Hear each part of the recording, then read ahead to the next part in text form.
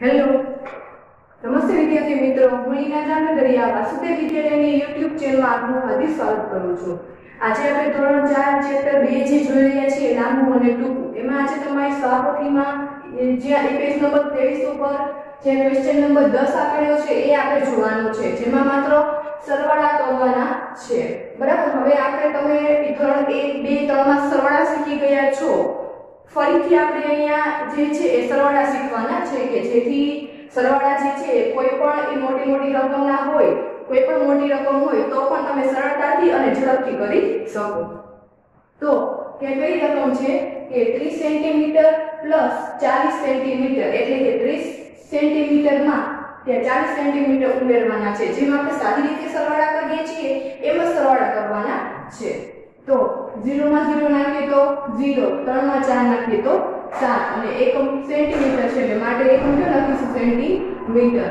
ત્યાર પછીનું બીજું છે, એક બાબત હંમેશા ખાસ ધ્યાન રાખવાનું કે જે કોઈ પણ નાના બાળકો છે, એ ઘણીવાર ભૂલ કરતા હોય. કે સરવાળામાં એ લોકોને ત્યાં એ કન્ફ્યુઝન થતી હોય કે સરવાળો આપણે કરવાનો છે, તો શરૂઆત છેલ્લેથી કરવાની કે એ પહેલેથી કરવાની? તો હંમેશા સરવાળો હોય, બાદબાકી હોય, કંઈ પણ હોય, એ હંમેશા સંખ્યામાં છેલ્લેથી શરૂઆત થાય છે. ત્યારબાદ છે એ પંચાવન સેમી પ્લસ અઠ્યાવીસ સેમી. તો પાંચમાં આઠ નાખીએ તો 8 ને પાંચ તેરનો તગડો વધી એક. પાંચમાં એક નાખીએ તો છ છ માં બે નાખીએ તો આઠ. અને એકમ સેન્ટીમીટર છે એટલે જવાબને શું લખીશું? સેન્ટીમીટર. ત્રીજું છે કે બાસઠ સેન્ટીમીટર પ્લસ ઓગણત્રીસ સેન્ટીમીટર. તો અહીંયા 2 ને નવ અગિયાર નો એકડો વધી એક. છ ને એક, સાત. સાતમાં બે નાખીએ તો નવ સેમીના સેમી ચોથું છે સુડતાલીસ સેમી પ્લસ તેતાલીસ સેમી તો સાતમાં ત્રણ નાખીએ તો સાત બે ત્રણ દસ નો શૂન્ય, વધી બાજુમાં ચડી એક. ચારમાં એક નાખીએ તો પાંચ અને એ પાંચમાં ચાર નાખીએ તો નવ. સેમી પછી એ પાંચમું છે કે એ પચાસ પ્લસ સાઠ સેન્ટીમીટર તો ઝીરોમાં ઝીરો નાખીએ તો ઝીરો. પછી છ ને પાંચ, અગિયાર. અગિયારના, અગિયાર. ને એકમ મીટર છે અહીંયા શું લખીશું? મીટર. ત્યાર પછી ત્યાર પછી છઠ્ઠું છે, એકસો ને પિસ્તાલીસ મીટર પ્લસ એકસો ને સાડત્રીસ મીટર. બરાબર? તો અહીંયા જે સરવાળો કરવાનો છે, એ ત્રણ ત્રણ રકમ વાળા છે એમાં પણ કાંઈ ફેર પડતો નથી. જેમાં આપણે જેની શરૂઆત કરીએ છીએ, એમ જ કરવાનું છે. તો અહીંયા પાંચમાં સાત નાખીએ તો કેટલા થાય છે? પાંચ ને સાત બાર નો બગડો. વધી ચડી એક. વધી હંમેશા આપણે જે બે સંખ્યાનો સરવાળો કરેલો છે, એની જે કોઈ પણ એ બાજુની સંખ્યા છે, એની ઉપર વધી ચડે. તો અહીંયા આપણે પાંચ અને 7 નો સરવાળો કરતા બાર મળે છે, તો 12 નો બગડો અહીંયા વધી છે, એક વધી છે, એકને ક્યાં ચડાવવાની? તો કે એ 5 ની બાજુનો કયો છે, ચાર. ચારની ઉપર. 4 માં એક નાખીએ તો પાંચ. અને એ 5 માં ત્રણ નાખીએ તો આઠ.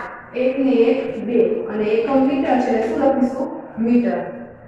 ત્યાર પછી સાતમું છે નેવ્યાસી મીટર પ્લસ ચોત્રીસ મીટર. નવ ને ચાર, તેર નો કરોડો. વધી ચડી એક, આઠ ને નવ નવ ને ત્રણ, બાર નો નવ ને આઠ ને નવ નવ ને ત્રણ, બાર ના બાર. કેમ કે હવે અહીંયા બધી ચડાવી શકાય એમ નથી. કેમ કે અહીંયા આવે કોઈ સંખ્યા નથી. છેલ્લે જે આવે એમને મૂકી દેવાનું. અને એકમ મીટર છે એટલે માટે મીટર. આઠમું છે ચુમ્મોતેર મીટર પ્લસ એકસો ને ત્રેસઠ મીટર. ચાર ને ત્રણ, સાત. સાત ને છ, તેર. તેર નો તગડો બધી બાજુની સંખ્યા પર ચડી એક. એક ને એક, બે. બે ને એક, ત્રણ. ત્રણસો ને સાડત્રીસ એકમ મીટર છે માટે મીટર. ત્યાર પછી નવમું છે, મીટર અને સેન્ટીમીટર. અહીંયા હવે બે ભેગું છે.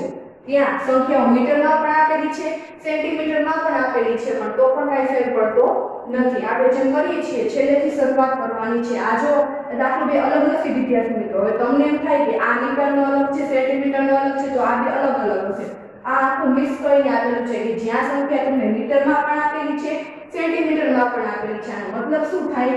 કે બેતાલીસ મીટર ને માથે 30 સેન્ટીમીટર છે.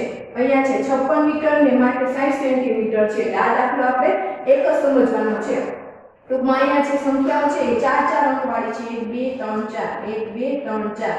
હવે આપણે છેલ્લેથી શરૂઆત કરવાની છે. એટલે આગળ પ્રથમ ઝીરોમાં ઝીરો નાખીએ તો ઝીરો, ત્રણ ને છ, નવ, છ ને બે, આઠ, ચાર ને પાંચ, નવ. આ ત્યાર પછી દસમું એમાં પણ એની જેમ છે. મીટર ને સેન્ટીમીટર, આડત્રીસ મીટર ને માથે ત્રેસઠ સેન્ટીમીટર, બાવન મીટર ને ચોર્યાસી સેન્ટીમીટર. તો અહીંયા ત્રણ. આપણે છેલ્લી શરૂઆત કરીએ તો ત્રણ ને ચાર થાય છે. સાત છ ને આઠ આઠ ને છ ચૌદ નો ચોગડો અને વધી ચડી બાજુની છ ની સંખ્યા કઈ છે? આઠ. તો આઠ છ, ચૌદ થાય છે. ચૌદ. નો વધી ક્યાં ચડશે? છ ની સંખ્યા ઉપર. આઠ નવ. નવ બે, અગિયાર. અગિયાર એકડો. બધી બાજુની સંખ્યા પર ચડી એક. ત્રણ ને ચાર. ચાર ને પાંચ, નવ. તો જવાબ શું મળે છે? એકાણું મીટર અને સુડતાલીસ સેન્ટીમીટર. તો આ તમારે તમારી સ્વાપોથીમાં પેજ નંબર ત્રેવીસ ઉપર લખી લેવાનું છે અને છેલ્લે બે દાખલા છે. આના જેવા જ છે કે તમારે એ તમે તમારી જાતે ત્યાં કરી શકો છો. એટલે એ બારે તમારે એની પ્રેક્ટિસ કરવાની છે. Thank you